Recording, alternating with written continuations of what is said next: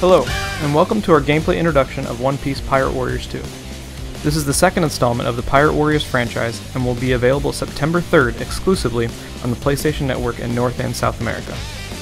My name is Jay Karchi, and I am the community manager here at Namco Bandai Games America, and we're going to take a look at one of the early episodes in the game and some of the different features you can look forward to.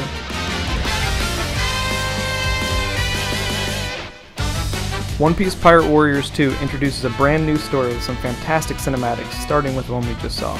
Right away, you can check out the different game modes and options that are available to you. And next, we get to see just how many unlockable characters there are to find. Here we see Luffy, Nami, and Smoker, but in fact, there are 36 unique playable characters which are unlockable through gameplay. Here, you'll also be able to select your crew for the episodes that can assist you when you execute special attacks.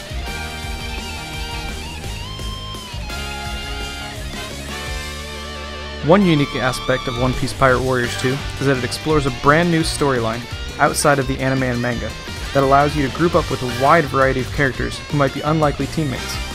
Characters from all over the One Piece universe are available to play, including both pirates and marines.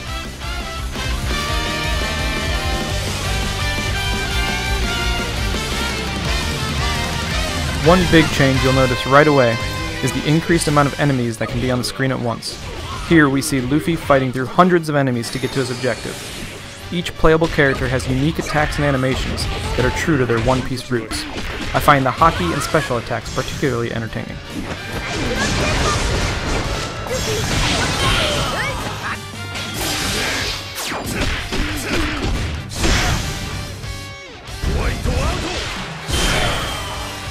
Throughout your missions, your objectives can change dynamically with the ongoing events, and you'll see that reflected on the minimap. The missions are very open. You always have the option of taking every territory by yourself, following your forces, or rushing straight to the enemy leaders. Along with split-screen offline multiplayer, One Piece Pirate Warriors 2 brings along the ability to jump in and jump out of an online cooperative game.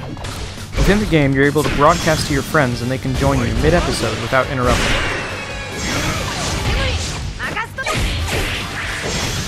As you can see, the second installment of One Piece Pirate Warriors brings many exciting features to the table. Thank you for watching, and we hope you all join us for the launch of the game on September 3rd exclusively on the PlayStation Network.